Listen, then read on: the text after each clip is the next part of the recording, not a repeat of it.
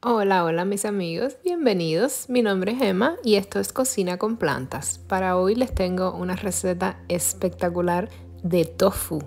Vamos a estar preparando un tofu picata totalmente vegano, obviamente, porque es con tofu, pero además vamos a hacerle un pequeño cambio a la salsa, pues vamos a agregarle champiñones y en vez de hacer una salsa bechamel con mantequilla, harina y leche, vamos a estar utilizando solamente un poquitico de harina de garbanzos y una salsa de anacardos. Para esta receta vamos a utilizar tofu sedoso. Como pueden ver este tofu es bien suavecito, parece una natilla o un mousse.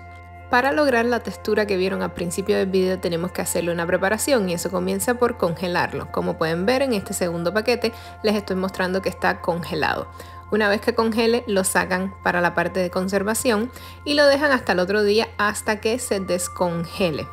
Van a ver que la textura es totalmente diferente, no tiene nada que ver con esa textura sedosa de natilla tenemos que sacar el tofu del envase y el próximo paso es muy muy muy importante y es comenzar con fuerza pero también con delicadeza a exprimir el tofu con mucho cuidado entre las manos. Esto va a demorar unos cuantos minutos porque tiene muchísima agua dentro que tenemos que sacar.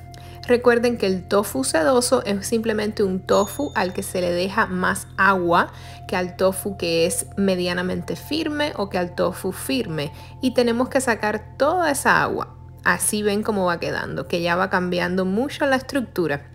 Luego lo vamos a envolver en un paño. Los vamos a acomodar los dos en la misma bandeja.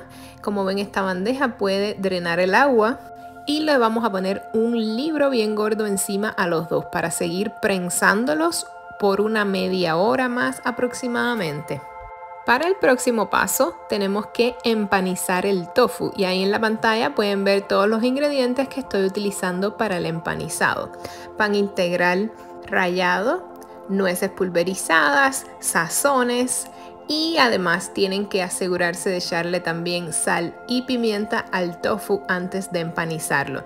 Para que se le pegue bien el empanizado yo le echo un poquito de aceite antes y ven que bien queda. Ahora lo ponemos en el horno a 350 grados Fahrenheit por aproximadamente 30 minutos o 20 minutos en dependencia de tu horno.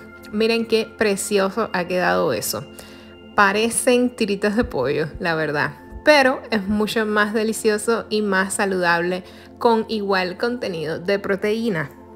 Lo maravilloso de este tofu es que es una receta o una técnica de preparación del tofu muy buena para diferentes tipos de recetas. Esta técnica la pueden utilizar y hacer diferentes tipos de salsa. Se puede hacer una salsa picata, pero también se puede hacer una salsa criolla y agregarle el tofu. El próximo paso va a ser realizar la crema de anacardos que vamos a preparar para crear la crema picata. Y estamos utilizando anacardos, pero estoy haciendo la crema un poco más ligera que de costumbre. Una, para que salga más barata y dos, para disminuir la cantidad de la grasa. Ahora vamos para la preparación final donde vamos a utilizar las alcaparras, el limón, una chalota, ajo. Yo estoy utilizando algunos ingredientes que se salen fuera de una salsa picata bien clásica.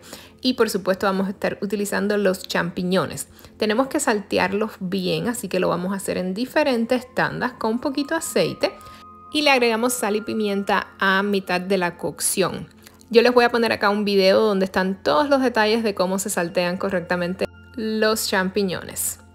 Por último, salteamos la chalota, salteamos el ajo y una vez que estén ya translúcidos, que se hayan salteado bien, sin llegar a quemarse, entonces vamos a incorporar los champiñones que previamente cocinamos. Luego vamos a agregar tomillo, salpimentamos, agregamos las alcaparras y vamos a agregar otro ingrediente bien importante, un chorro de vino blanco. El vino se va a evaporar completamente, así que no te preocupes que no va a tener alcohol.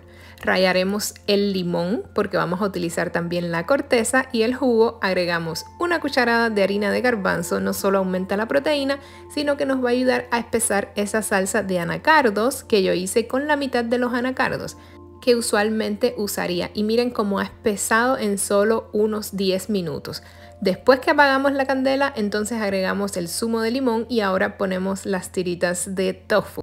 Esta receta en sí está deliciosa, la pueden acompañar con arroz o con unos panes tostados, pero yo estoy en este caso haciendo unas pastas y agregué unas pastas de garbanzo para que fueran mucho más saludables que incluso unas pastas integrales de trigo.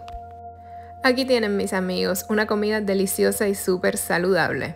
Déjame saber qué te pareció con un comentario debajo. Les deseo a todos una semana llena de luz y mucho amor. Nos vemos. Gracias por ver el video y no olvides suscribirte.